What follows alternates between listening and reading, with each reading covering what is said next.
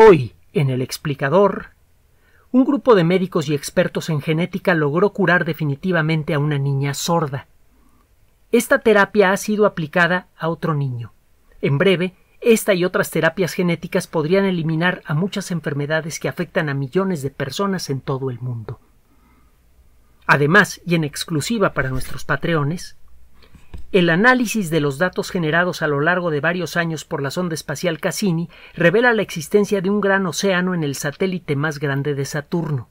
Con esto, Titán se vuelve uno de los primeros candidatos para la búsqueda de vida en el sistema solar.